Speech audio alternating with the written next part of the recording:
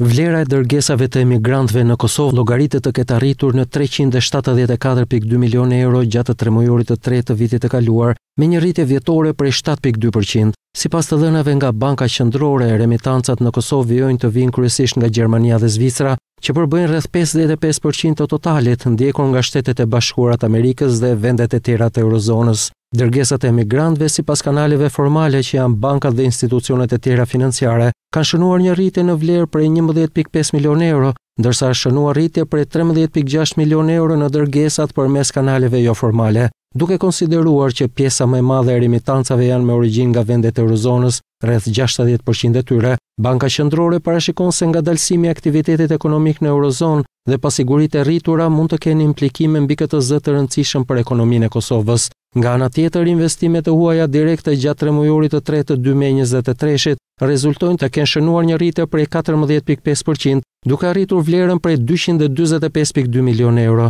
rënia është evidentuar kryesisht në pasuritë e paluajtshme që mbetet sektori kryesor në këtë drejtim me gjashtë pikë dy për qind, duke arritur njëqind e pesëdhjetë e dy pikë nëntë milionë euro. E kundërta ka ndodhur me aktivitetet e sigurimit dhe industrisë nxjerrëse, përfshirë guroret, ku është regjistruar rritje e investimeve të huaja direkte.